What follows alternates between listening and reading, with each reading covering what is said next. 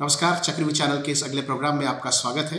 आज का हमारा प्रोग्राम जो है, वो भारतीय वायु सेना में शामिल प्रचंड हेलीकॉप्टर के बारे में है, जो एक लाइट कॉम्बैट हेलीकॉप्टर है।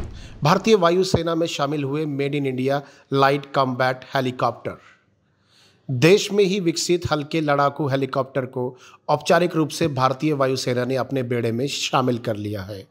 यह हेलीकॉप्टर रडार को चकमा देने में भी सक्षम है।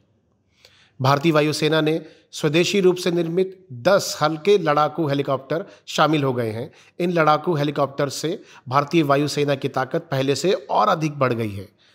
रक्षा मंत्री राजनाथ सिंह और वायुसेना प्रमुख air chief marshal V R Chaudhari की उपस्थिति में जोधपुर में एक समारोह में हेलीकॉप्टरों को भारतीय वायुसेना में शामिल किया गया।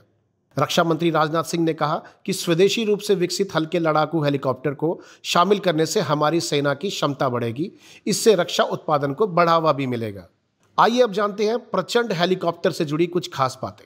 हल्के लड़ाकू हेलीकॉप्टर के वायुसेना में शामिल होने से एयरफोर्स की ताकत में और वृद्धि होगी, क्योंकि यह बहु उपयोगी हेलीकॉप्टर कई तरह की मिसाइल दागने और हथियारों का इस्तेमाल करने में सक्षम है। भारतीय वायुसेना में शामिल प्रचंड हेलीकॉप्टर हर मौसम में मुकाबला करने की क्षमता रखता है और इस हेलीकॉप्टर पर फायरिंग का कोई खास असर नहीं पड़ सकता है।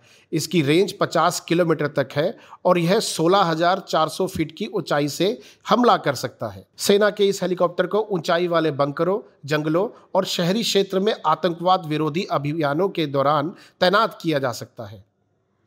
गौरतलब है कि इस साल मार्च में प्रधानमंत्री नरेंद्र मोदी की अध्यक्षता में सुरक्षा मामलों की मंत्रिमंडलीय समिति ने स्वदेश में विकसित 15 लाइट कॉम्बैक्ट हेलीकॉप्टर्स को खरीदने के लिए मंजूरी दी थी। इसी तरीके की खबरों के लिए जुड़े रहिए हमारे चैनल चक्रव्यू के साथ और हमें फेसबुक यूट्यूब इंस्टाग्राम पर लाइक और फॉलो करिए। धन्यवाद।